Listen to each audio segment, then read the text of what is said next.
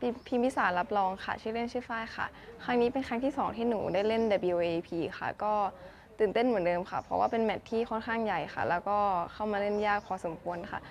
ก็จากประสบการณ์ปีที่แล้วก็ทำให้รู้ว่าจริง ๆ เราไม่จำเป็นต้องกดดันตัวเองเลยค่ะ เล่นตามแผนนะคะปีที่แล้วก็คาดหวังเยอะไปหน่อย ก็เลยกดดันตัวเองก็เลยตีไม่ได้ค่ะ ก็ปีนี้ก็จะแบบทำเต็มที่ค่ะ แล้วก็ฝาก เพื่อนๆ พี่ๆ น้องๆ นะคะ ตามเชียร์หนูด้วยนะคะ ขอบคุณค่ะ